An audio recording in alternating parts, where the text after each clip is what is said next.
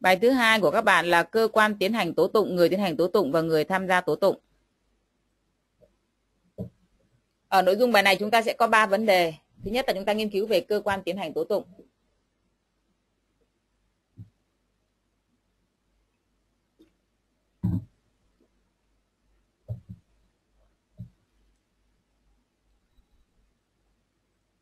Về cơ quan tiến hành tố tụng thì được quy định tại Điều 33 Bộ Luật Tố Tụng Hình sự. Tại Điều 33. Và trong Điều 33 của Luật Tố Tụng Hình sự thì các bạn thấy rằng là cơ quan tiến hành tố tụng hiện nay Luật Tố Tụng Hình sự quy định có 3 cơ quan. Một là cơ quan điều tra, hai là Viện Kiểm sát và ba là Tòa án. Cô nhắc lại này, cơ quan tiến hành tố tụng của chúng ta thì có 3 cơ quan. Một là cơ quan điều tra, hai là Viện Kiểm sát và ba là tòa án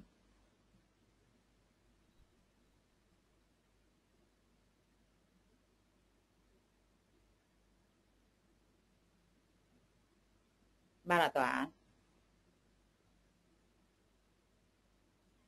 Bây giờ lần lượt chúng ta sẽ nghiên cứu từng cơ quan một. Nhất là chúng ta vào cơ quan điều tra trước. Cơ quan điều tra.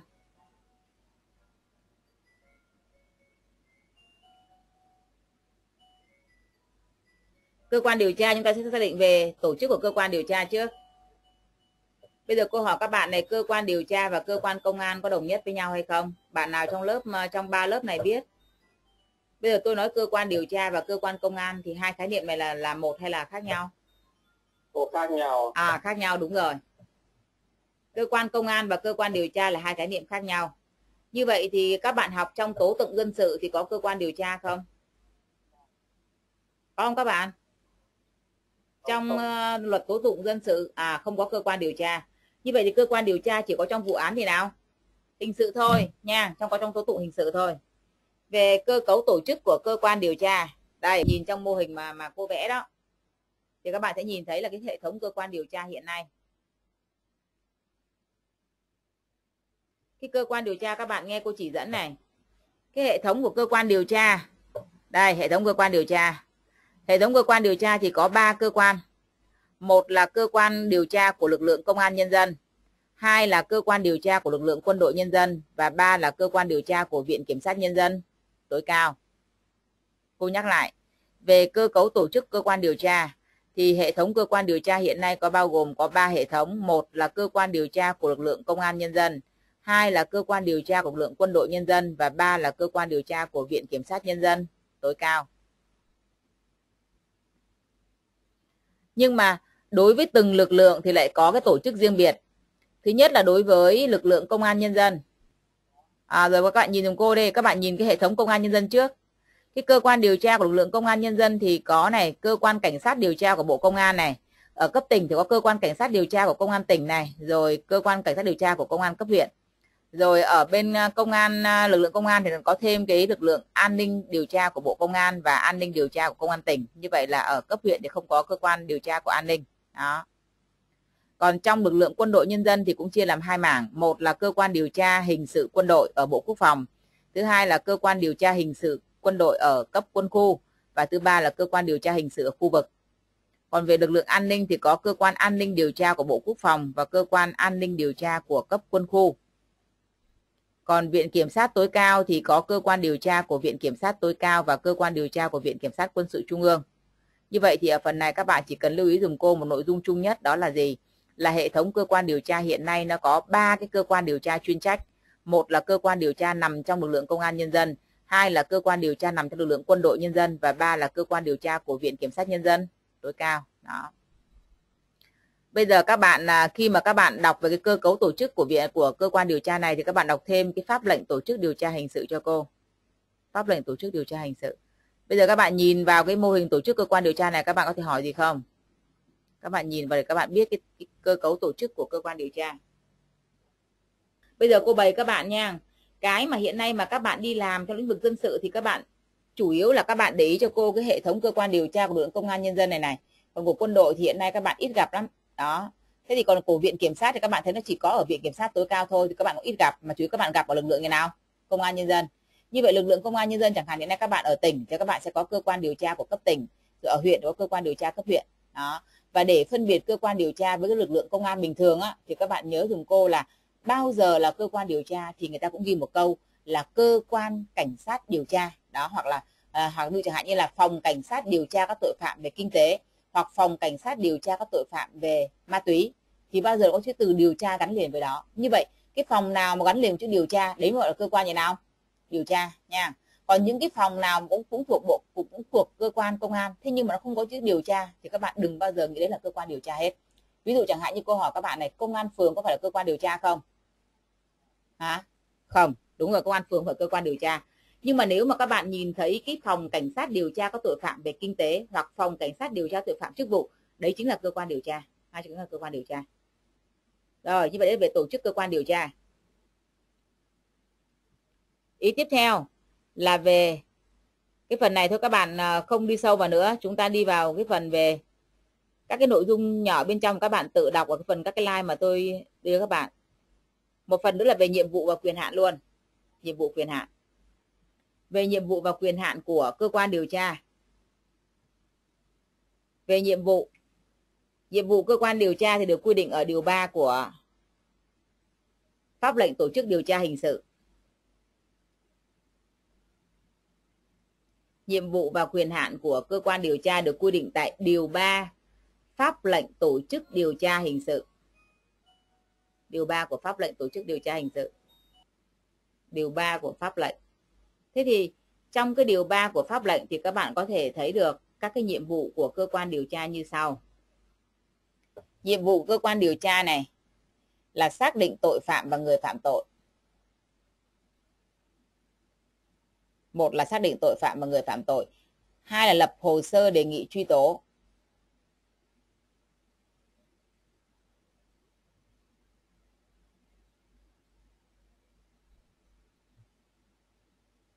Hai lập hồ sơ đề nghị truy tố. Và ba là tìm ra nguyên nhân điều kiện phạm tội. Bốn là yêu cầu áp dụng các biện pháp khắc phục phòng ngừa phần này à, trong cái bài à, giảng của tôi là, là có rồi bây giờ các bạn không cần phải ghi nữa mà các bạn chỉ cần nghe tôi phân tích một chút thôi. Thứ nhất là trong nhiệm vụ đầu tiên là các bạn nhìn dùng cô này là cơ quan điều tra có nhiệm vụ xác định tội phạm và người phạm tội. Như vậy cái tội phạm và người phạm tội này hai khái niệm có khác nhau không? À các bạn. Tội phạm và người phạm tội là hai khái niệm như nào? Khác nhau đúng rồi. Ví dụ chẳng hạn bây giờ xác định tội phạm cơ quan điều tra xác định xem tội đó là tội trộm cắp hay là tội cướp hay tội lừa đảo và người phạm tội, tức là cơ quan điều tra phải làm rõ xem là cái người thực hiện hành vi cướp hay lừa đảo đó là người nào. Đó, người ta gọi là xác định tội phạm và người phạm tội ha. Tội phạm tức là xác định một tội cụ thể. Còn người phạm tội tức là phải làm rõ xem người đó là ai, tức là chủ thể thực hiện hành vi đó là ai. Có phải vụ án hình sự nào cơ quan điều tra cũng làm rõ được hai vấn đề này không? Hả các bạn? Có phải vụ án hình sự nào cũng làm rõ được hai vấn đề này không? Không nếu mà vụ án nào cơ quan điều tra cũng làm rõ được hai nội dung này thì cơ quan điều tra quá giỏi, đúng nào? Hiện nay có rất nhiều vụ án mà cơ quan điều tra xác định được tội phạm, nhưng mà vẫn không biết người phạm tội là ai. Đó. Và nếu không biết người phạm tội là ai thì có đề nghị truy tố được không? Có không? Không, đúng rồi. Như vậy ở cái nhiệm vụ thứ hai, các bạn nhìn này, lập hồ sơ để đề nghị truy tố. Cái lập hồ sơ đề nghị truy tố chúng ta hiểu thế nào đây? Là sau khi xác định có tội phạm và người phạm tội thì cơ quan điều tra sẽ làm bản kết luận điều tra và đề nghị truy tố như vậy các bạn nhớ dùm cô là cơ quan điều tra chỉ có quyền đề nghị thôi. Còn việc truy tố hay không là do gì nào? Viện kiểm sát nha, viện kiểm sát. Như vậy các bạn gạch chân cái từ đề nghị cho cô, đề nghị. Như vậy thì cơ quan điều tra đề nghị thì viện kiểm sát có phải truy tố ngay không? Hay là viện kiểm sát có thể đồng ý hoặc không đồng ý? À đúng rồi. Như vậy khi mà cơ quan điều tra đề nghị thì viện kiểm sát có thể đồng ý hoặc không đồng ý nếu đồng ý thì viện kiểm sát làm cáo trạng đề nghị truy tố, còn nếu không thì trong trường hợp này sẽ không áp dụng. Như vậy rõ ràng là lập hồ sơ đề nghị như nào? Truy tố, ha? Lập hồ sơ đề nghị truy tố. Rồi trong quá trình điều tra thì cơ quan điều tra phải tìm ra nguyên nhân và điều kiện phạm tội. Vì sao như vậy? Các bạn biết rằng là cái hoạt động điều tra phải hướng tới cái hoạt động phòng ngừa tội phạm. Mà muốn phòng ngừa tội phạm thì cơ quan điều tra phải tìm ra nguyên nhân và điều kiện phạm tội. Đó, phải tìm nguyên nhân và điều kiện phạm tội thế cái việc mà tìm nguyên nhân và điều kiện phạm tội này thì chúng ta hiểu là mỗi vụ án sẽ có nguyên nhân và điều kiện phạm tội riêng biệt. Và từ các cái nguyên nhân và điều kiện phạm tội như vậy thì cơ quan điều tra phải kiến nghị để áp dụng các biện pháp phòng ngừa chính là cái nhiệm vụ thứ tư này này. Tôi lấy ví dụ chẳng hạn. Nếu như trong cái vụ án cụ thể mà cơ quan điều tra phát hiện được nguyên nhân phạm tội là lỗi của ngành hải quan chẳng hạn thì cơ quan điều tra phải kiến nghị với cơ quan hải quan áp dụng biện pháp phòng ngừa. Hoặc giả sử trong vụ án đó cơ quan điều tra phát hiện được lỗi này là lỗi từ ngành giáo dục, tức là từ cái cơ quan quản lý về ngành giáo dục chẳng hạn, em phải kiến nghị cơ quan đó thực hiện hoạt động phòng ngừa. À, ví dụ các bạn biết là trước đây cái vụ án Trương Văn Cam và đồng bọn xảy ra ở thành phố Hồ Chí Minh đó. Đây là vụ án rất là lớn. Trong vụ án này thì cơ quan điều tra đề nghị truy tố đến 156 bị can và viện kiểm sát cũng đã truy tố 156 bị can. Và trong cái lý giải của nguyên nhân và điều kiện phạm tội thì cơ quan điều tra đã kiến nghị là nguyên nhân và điều kiện phạm tội là lỗi từ ba ngành. Ngành điều tra có, ngành kiểm sát có và ngành tòa án có, nói chung là của các ngành tư pháp. Vì vậy cơ quan điều tra kiến nghị là phải xem xét lại và thực hiện nâng cao cái trách nhiệm của phía các cơ quan tư pháp trong vụ án này. Và vì vậy cho nên cái yêu cầu để khắc phục các biện pháp phòng ngừa là đối với các, các cơ quan hữu quan là vậy. Và các bạn nhớ dùng cô là các cái nguyên nhân và điều kiện phạm tội bao giờ cũng xuất phát từ yếu tố từ xã hội rất là nhiều. Vì vậy trong mỗi vụ án như vậy thì phải kiến nghị để mà áp dụng các cái biện pháp phòng ngừa, hai biện pháp phòng ngừa. Như vậy đấy là trường hợp liên quan đến cái tính chất về à, nhiệm vụ của cơ quan điều tra. Được chưa? Như vậy từ nhiệm vụ này chúng ta xác định về vấn đề liên quan đến quyền hạn của cơ quan điều tra. Cơ quan điều tra có rất nhiều quyền hạn và các quyền hạn này tôi đã chỉ dẫn để các bạn có thể tự đọc và tự tham khảo. Các bạn nhìn trong các cái quyền hạn mà tôi liệt kê này. Cơ quan điều tra có quyền khởi tố vụ án này, khởi tố bị can này, rồi có quyền lập kế hoạch điều tra này, đưa ra các giả thuyết phỏng đoán này, rồi yêu cầu các cơ quan tổ chức cung cấp tài liệu này, rồi tiến hành các hoạt động điều tra này, rồi áp dụng các biện pháp cưỡng chế này, lập bản kết luận điều tra đề nghị truy tố này, rồi lập bản kết luận điều tra để đình chỉ hoặc tạm đình chỉ điều tra. Thế bây giờ các bạn à, à, trong các cái quyền này thì các bạn có quyền nào là các bạn cần tôi phải giải thích. Đó, còn những quyền này tôi liệt kê cho các bạn rồi để khi mà các bạn đọc thì các bạn hiểu cái quyền của cơ quan điều tra. Các bạn ở ba tỉnh đọc các quyền đó đi và chúng ta thấy cần giải thích quyền nào thì yêu cầu. Những quyền này thì quy định rất là rõ rồi. Đó, bạn nào thấy quyền nào không hiểu thì yêu cầu giải thích. Cho em hỏi cái quyền mà lập kế hoạch điều tra đưa các giả thuyết phỏng đoán à. lập kế hoạch điều tra thì các bạn biết rồi ví dụ chẳng hạn như khi mà người có một vụ án hình sự xảy ra ví dụ chẳng hạn vụ án giết người chẳng hạn thì cơ quan điều tra khởi tố vụ án giết người. Nhưng mà sau khi khởi tố như vậy rồi thì cơ quan điều tra phải lên kế hoạch điều tra là bước 1 làm gì bước 2 làm gì bước 3 làm gì ta gọi lập kế hoạch. Nhưng mà trong quá trình lập kế hoạch như vậy thì cơ quan điều tra đưa ra các giả thuyết. Giả thuyết phỏng đoán tức là anh đưa ra các giả thuyết để anh dự đoán xem là hành vi phạm tội đó diễn ra theo chiều hướng nào. Ví dụ, đây là vụ án giết người vì liên quan đến bịt đầu mối, hay đây là vụ án giết người vì thanh toán lẫn nhau, hoặc đây là vụ án giết người để nhằm coi như là cướp tài sản. Anh đưa ra các cái giả thuyết khác nhau. Từ các cái sự kiện như vậy, anh đưa ra các giả thuyết. Và dĩ nhiên là giả thuyết anh hướng các hoạt động điều tra của anh vào, đúng nào? Ví dụ chẳng hạn anh giả thuyết rằng đây là vụ án giết người là nhằm cướp tài sản thì anh phải hướng các hoạt động điều tra theo hướng đó. Còn nếu anh cho rằng đây là vụ án giết người là để nhằm bịt đầu mối thì anh lại phải hướng hoạt động điều tra theo hướng là bịt đầu mối trên cái giả thuyết phỏng đoán tức là lập ra các giả thuyết để dự liệu các kế hoạch điều tra. Và giả thuyết có thể đúng mà cũng có thể là gì nào? Có thể là sai, đúng nào? Đó. Hiện nay à, cơ quan điều tra là mỗi vụ án xảy ra như vậy thì bao giờ cũng vậy người ta có các cái giả thuyết. Ví dụ chẳng hạn như là vừa rồi các bạn biết rằng có những vụ án mà người ta phải biết rằng là à đây là giết người là vì coi như là động cơ, coi như là trả thù, hay là động cơ là vì cướp tài sản, hay là động cơ vì à, vấn đề liên quan đến băng nhóm mà họ phải cần phải bịt đầu mối lẫn nhau thì họ đưa ra các cái giả thuyết khác nhau như vậy. Gọi giả thuyết phỏng đoán. Rồi còn quyền gì? Các bạn khác? Cần yêu cầu giải thích quyền gì? Đó là khi nào là đình chỉ điều tra cô à đình chỉ điều tra các bạn mở ngoặc ra. Bây giờ phần này là các bài các bạn học ở phần bài sau. Nếu bạn nào muốn biết thì đọc điều 164 Bộ luật tố tụng hình sự điều 164 quy định về các trường hợp đình chỉ điều tra. Điều 164 ví dụ như trong điều 164 người ta quy định là chẳng hạn như bị can bị chết chẳng hạn thì phải đình chỉ điều tra. Hoặc là bị can mà chưa đến tuổi chịu nhiệm hình sự chẳng hạn thì phải đình chỉ điều tra.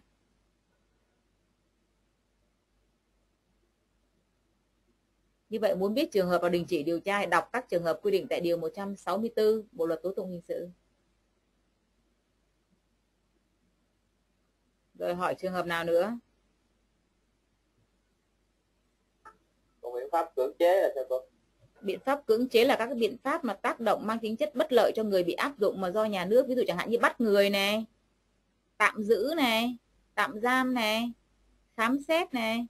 Đó gọi là cưỡng chế áp giải này là cưỡng chế các bạn học các công biện pháp khác cưỡng chế lĩnh, lĩnh vực khác rồi rất nhiều cái cưỡng chế nhà nước ban hành rất nhiều loại cưỡng chế thì trong tố tụng hình sự thì cơ quan điều tra có thể áp dụng các biện pháp cưỡng chế như là bắt người này, tạm giữ này, tạm giam này, khám xét này, áp giải này, dẫn giải này. Đấy là biện pháp cưỡng chế. Bắt người, tạm giữ, tạm giam, khám xét, dẫn giải, áp giải. Rồi, như vậy thì chúng ta có thể dừng cái phần cơ quan điều tra ở đây ha rồi chúng ta sang cái cơ quan tiếp theo. Là viện kiểm sát. Về tổ chức của viện kiểm sát.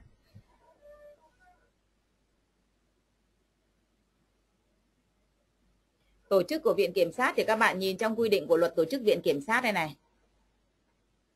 Viện kiểm sát bao gồm viện kiểm sát nhân dân tối cao là một này viện kiểm sát cấp tỉnh là hai này và viện kiểm sát cấp huyện là ba. Đó, chúng ta có ba cái tổ chức viện kiểm sát ở ba cấp, tối cao, cấp tỉnh và cấp huyện. Còn trên, ở viện kiểm sát tối cao thì các bạn sẽ thấy này, viện kiểm sát tối cao bao gồm ủy ban kiểm sát, rồi dưới ủy ban kiểm sát là các vụ, các viện, rồi viện kiểm sát quân sự trung ương. Thì phần này các bạn à, không cần phải đọc nhiều cho tôi. Cái phần này tại phần viện kiểm sát là các bạn học ở luật tổ chức uh, các cơ quan bộ máy nhà nước rồi. Ở trong tố tụng hình sự các bạn chỉ cần nhớ cho cô cái viện kiểm sát ở ba cấp này này. Là viện kiểm sát tối cao là một viện kiểm sát cấp tỉnh là hai và viện kiểm sát cấp gì nào? Cấp huyện là ba. Viện kiểm sát tối cao thì chúng ta chỉ có một ở trung ương thôi. Nhưng mà viện kiểm sát cấp tỉnh và cấp huyện thì các bạn nhớ dùng cô là viện kiểm sát cấp tỉnh và cấp huyện là viện kiểm sát được tổ chức theo đơn vị hành chính lãnh thổ. Tức là mỗi cấp tỉnh chúng ta có một viện kiểm sát cấp tỉnh và mỗi cấp huyện chúng ta có một viện kiểm sát cấp huyện nào? Cấp huyện nha, cô nhắc lại là viện kiểm sát tối cao chúng ta chỉ có một, nhưng mà viện kiểm sát cấp tỉnh và cấp huyện thì chúng ta được gắn liền với đơn vị hành chính lãnh thổ. Mỗi tỉnh có một viện kiểm sát cấp tỉnh và mỗi huyện có một viện kiểm sát cấp huyện.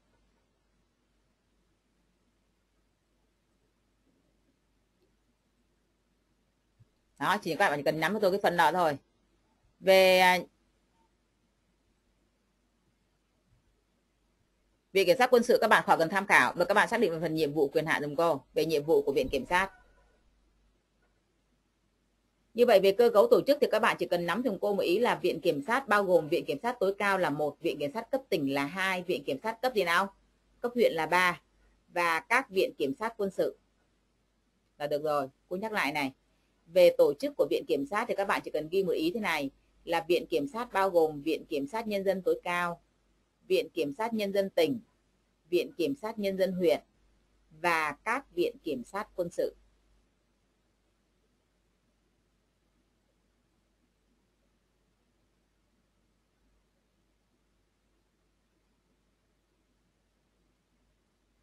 và các viện kiểm sát quân sự.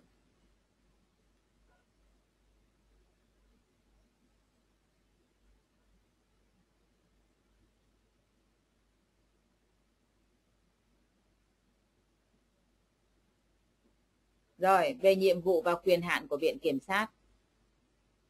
Thứ nhất là về nhiệm vụ. Trong tố tụng hình sự thì Viện Kiểm sát có hai nhiệm vụ các bạn. Nhiệm vụ thứ nhất là kiểm sát việc tuân theo pháp luật trong hoạt động tư pháp. Thứ nhất là kiểm sát việc tuân theo pháp luật trong hoạt động tư pháp.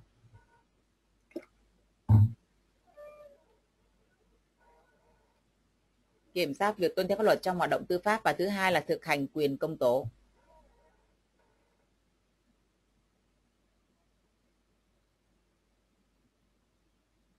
Thứ hai là thực hành quyền công tố. Cô nhắc lại, trong tố tụng hình sự thì Viện Kiểm sát có hai nhiệm vụ. Một là kiểm soát việc tuân theo pháp luật trong hoạt động tư pháp và thứ hai là thực hành quyền công tố. Bây giờ các bạn chỉ dẫn dùm cô xem hoạt động tư pháp là hoạt động nào hoạt động của những cơ quan nào được gọi là hoạt động tư pháp? Các bạn tỉnh nào trả lời được?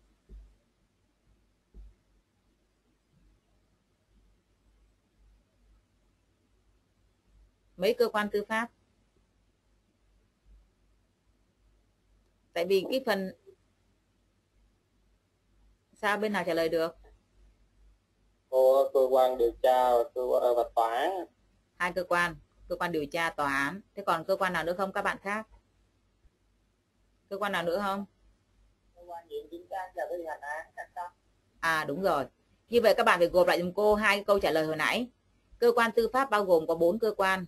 Một là cơ quan điều tra hai là viện kiểm sát ba là tòa án và bốn là cơ quan thi hành án. Cơ quan điều tra viện kiểm sát tòa án và cơ quan thi hành án cô nhắc lại, cơ quan tư pháp bao gồm có cơ quan điều tra, viện kiểm sát, tòa án và cơ quan thi hành án. Như vậy khi chúng ta nói viện kiểm sát là kiểm sát việc tuân theo pháp luật trong hoạt động tư pháp chính là cái hoạt động của bốn cơ quan nói trên và thực hành quyền công tố. Quyền công tố là gì các bạn? Hiểu thế nào là quyền công tố đây? Quyền công tố là gì? Ở đây quyền công tố được hiểu đó là nhân danh quyền của nhà nước, công mà, công tức là quyền của nhà nước để buộc tội một người ra trước pháp luật người ta gọi là quyền công tố. Quyền công tố là nhân danh nhà nước để buộc tội một người ra trước pháp luật. Rồi như vậy đấy là về nhiệm vụ. Về quyền hạn của viện kiểm sát. Quyền hạn của viện kiểm sát thì uh, trong cái slide tôi gửi cho các bạn là rất nhiều quyền. Cái nhóm quyền đầu tiên mà tôi liệt kê cho các bạn đó là quyền ở giai đoạn khởi tố và điều tra đó. Những quyền này các bạn có thể tự xem này như là kiểm sát khởi tố này tự mình khởi tố này phê chuẩn hoặc không phê chuẩn này áp dụng thay đổi biện pháp ngăn chặn này yêu cầu cơ quan điều tra truy nã này ra yêu cầu điều tra này trả hồ sơ điều tra bổ sung này rồi à, yêu cầu thay đổi cán bộ điều tra này rồi kiểm soát các hoạt động điều tra này. Rồi trực tiếp tiến hành một số hoạt động điều tra này rồi quyết định truy tố này quyết định tạm đình chỉ. Đây là giai đoạn khởi tố điều tra. Ở đây các bạn thấy là à, viện kiểm sát có nhiều quyền và quyền nó nằm ở nhiều giai đoạn ha nhiều giai đoạn.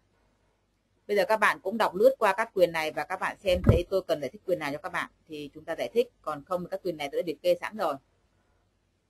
Trong slide chúng ta có đầy đủ các quyền rồi. Các bạn đọc đi và quyền nào không không rõ thì yêu cầu tôi giải thích.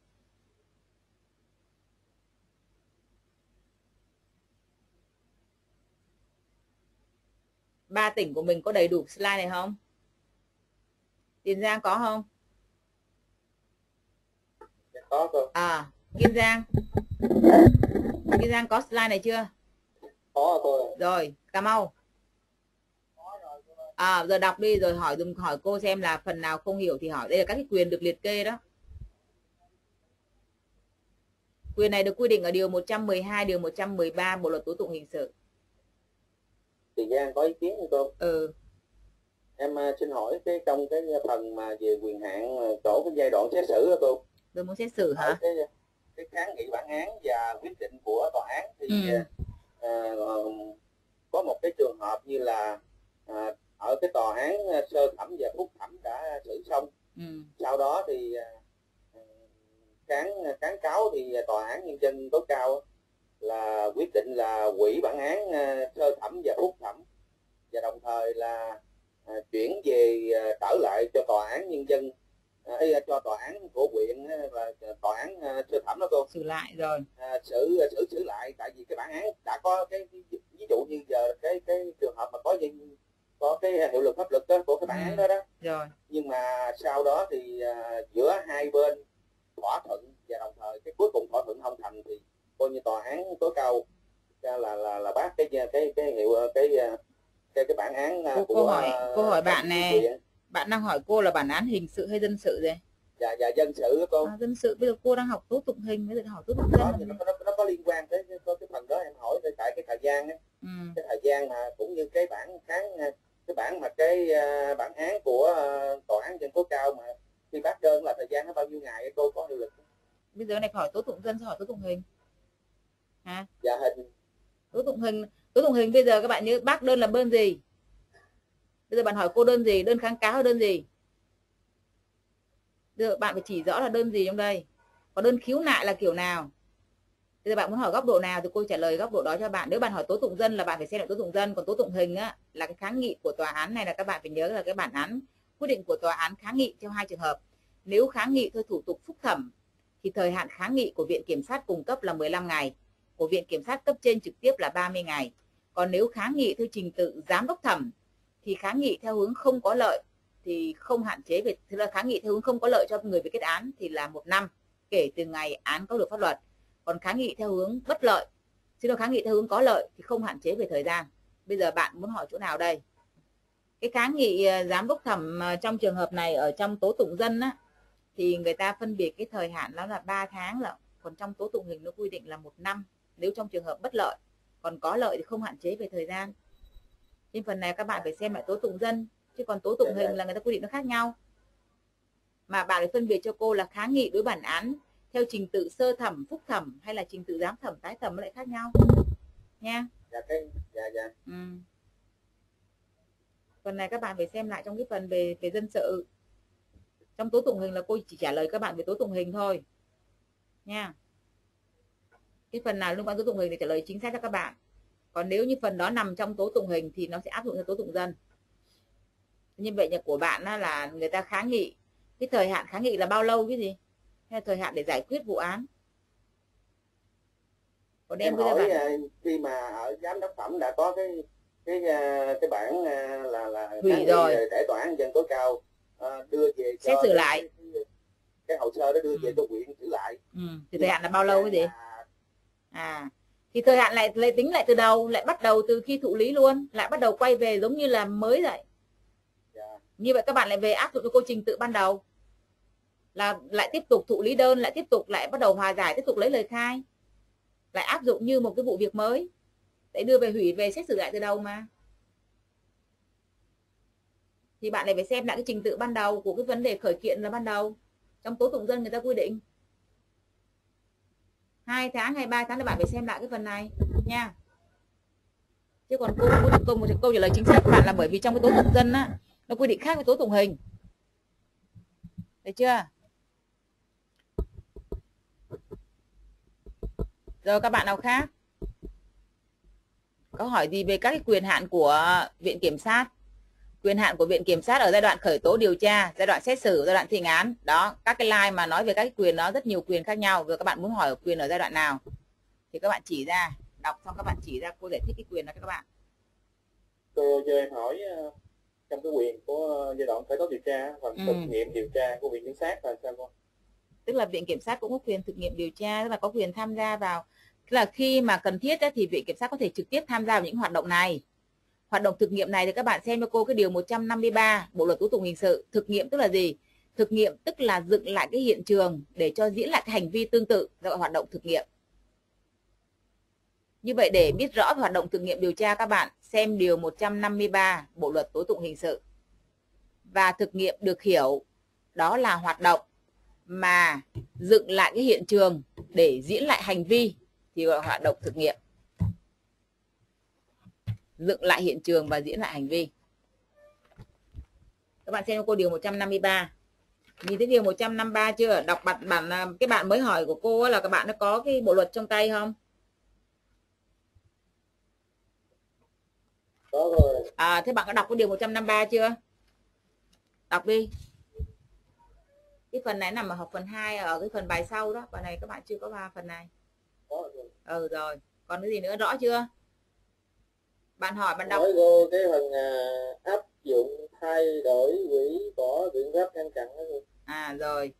Viện kiểm sát có quyền áp dụng thay đổi hủy bỏ biện pháp ngăn chặn tức là khi mà trong quá trình điều tra hoặc khởi tố thì viện có thể quyết định áp dụng biện pháp ngăn chặn. Ví dụ chẳng hạn như bạn à, viện kiểm sát có thể quyết định cho áp dụng biện pháp tạm giam. Viện kiểm sát có thể thay đổi tạm giam sang biện pháp ngăn chặn khác. Ví dụ từ tạm giam sang biện pháp là cấm đi khỏi nơi cư trú hoặc là viện kiểm sát có thể ra quyết định hủy bỏ biện pháp ngăn chặn, tức là hủy bỏ biện pháp tạm giam chẳng hạn. Người ta gọi là có quyền áp dụng thay đổi hoặc hủy bỏ. Như vậy đây các bạn có thể mở ngoặc ra là áp dụng thay đổi hủy bỏ các biện pháp như là bắt người, tạm giam, tạm giữ hoặc là cấm đi khỏi nơi cư trú. Đó, các biện pháp ngăn chặn. Phần các biện pháp ngăn chặn này các bạn chưa có học nên các bạn chưa có hình dung được. Chút buổi chiều tôi sẽ chỉ ra các biện pháp ngăn chặn này để các bạn có thể tham khảo. Được chưa? Nói tóm lại là các cái quyền của viện kiểm sát thì các bạn chỉ cần đọc cho hiểu là để người ta liệt kê các quyền này ra thôi. Đó. Khi mà chúng ta nói về viện kiểm sát các bạn có thể hiểu là à, viện kiểm sát có nhiều quyền như vậy đó. Rồi chúng ta sang cơ quan cuối cùng là cơ quan điều tra, à, chứ đó là tòa án. Về tổ chức của tòa án.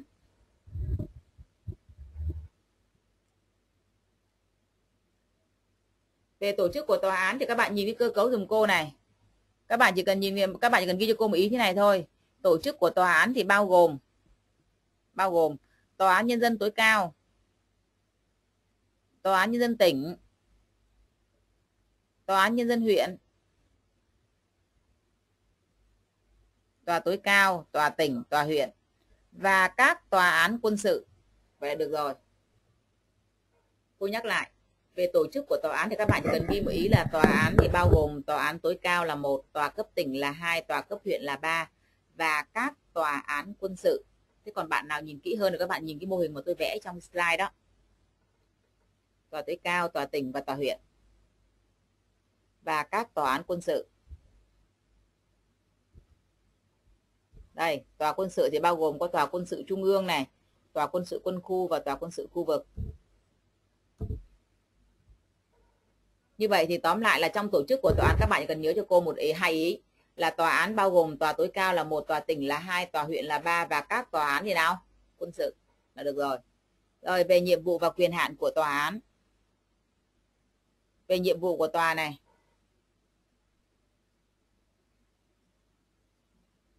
Các bạn nhìn vào cái nhiệm vụ của tòa. Khác với cơ quan điều tra, khác với viện kiểm sát, thì tòa án là cơ quan thực hiện hoạt động xét xử. Cho nên các bạn thấy cô cứ dùng cái từ là thông qua hoạt động xét xử đây này. Đó thì tòa án có nhiệm vụ bảo vệ pháp chế bảo vệ chế độ bảo vệ lợi ích tập thể lợi ích của công dân và thông qua hoạt động xét xử thì giáo dục công dân ý thức tuân thủ pháp luật đó. đấy là cái nhiệm vụ của tòa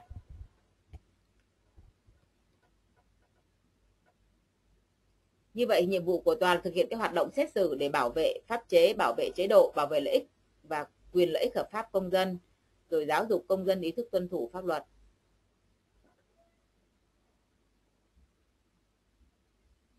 Thế thì trong các cái nhiệm vụ này thì các bạn nhớ dùng cô một ý chung là nhiệm vụ của tòa là phải xét xử này này. Đó, từ xét xử thì mới bảo vệ, mới giáo dục công dân nha. Thế như vậy thì cơ quan điều tra thì có nhiệm vụ là thu thập chứng cứ, đúng không nào, để chứng minh tội phạm và người cảm phạm tội. Còn viện kiểm sát thì là kiểm sát và thực hành quyền công tố. Còn tòa án là thực hiện hoạt động như nào? Xét xử. Đó và thông qua hoạt động xét xử thì tòa án sẽ thực hiện các cái nội dung liên quan. Bảo vệ đó là pháp chế rồi bảo vệ chế độ rồi giáo dục công dân đấy là phần về quyền hạn. À, chính là về phần nhiệm vụ. Về quyền hạn của tòa án. Đó quyền hạn. Quyền hạn các bạn nhìn cái quyền mà cô liệt kê đó. Tòa án chủ yếu cái quyền tập trung ở giai đoạn xét xử. Tòa án có thể trao đổi với viện. Tòa án có thể áp dụng thay đổi hủy bỏ biện pháp ngăn chặn giống như tòa giống như viện vậy.